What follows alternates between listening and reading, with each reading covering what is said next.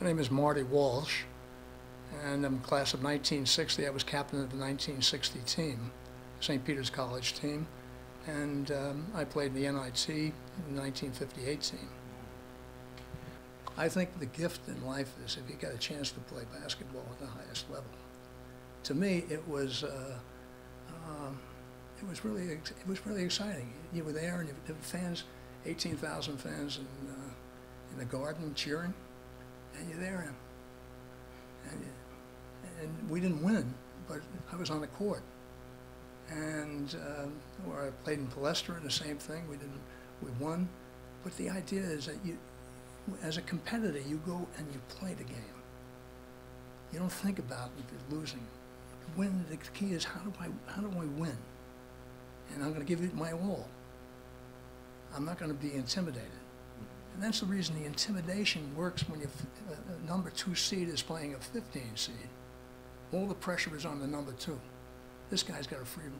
If he starts closing in and he goes above him, above the number two, the number two gets more and more anxious. And you probably go back in the game and you'll notice that they begin to shoot earlier. They're not set up.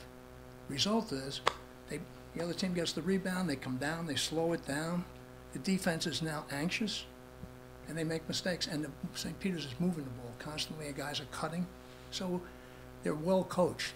So it's going to be, uh, for a guy like me, I'm here and I'm going like this. Hope, hope. This is this. if you have a sign of hope, you can win, you know? And uh, that's the thing that St. Peter's has, this sense of hope, and they believe in each other. And uh, so I, I think it's going to be a great fun game.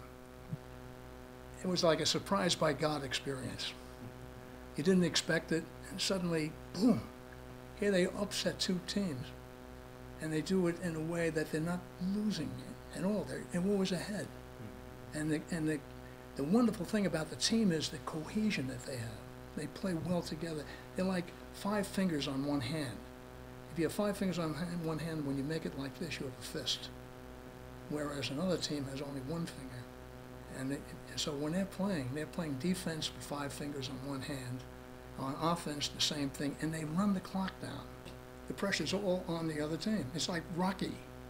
And the interesting part about it, they're playing in Philly. So you're saying, not Rocky Balboa, but it's St. Peter's College, or St. Peter's University is playing. And the Peacocks are really Rocky. You're looking at the NCAAs, St. Little St. Peter's College with 2,200 people, and they're playing a team that has, uh, you know, 15,000. And, and you're saying, how can they beat, you know, but then you go into scripture and you realize, uh, you know, the great Goliath. And a little guy comes with, a, and hits him with a, you know, with a sled, with, boom, boom.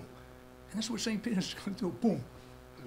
And again, and so people are going to be, and the great part is they're all cheering. They're our kids, because we're all underdogs. And, that, and, and we always root for the underdog, especially when they, they don't quit. And this team's not going to quit. When I'm looking and watching uh, the team, they really like each other. You just see this, and they work hard together. And so, you know, it, in fact, it reminds me so much of uh, our own country because we're one nation, but we're many parts, and each part contributes, and each of us has a role to play. And the same way in basketball, you're playing, and the guy who plays good defense, and all these guys are good defensive players, but they're passing the ball, they're cutting, they're looking for the guy who's open, and whereas another team will have just the ball going to the best shooter, and they become stagnant. But St. Peter's has a lot of motion going. So I think what I'd say is um, celebrate it. Enjoy this moment in your life and celebrate being at St. Peter's and cheering for the underdog because we're all underdogs.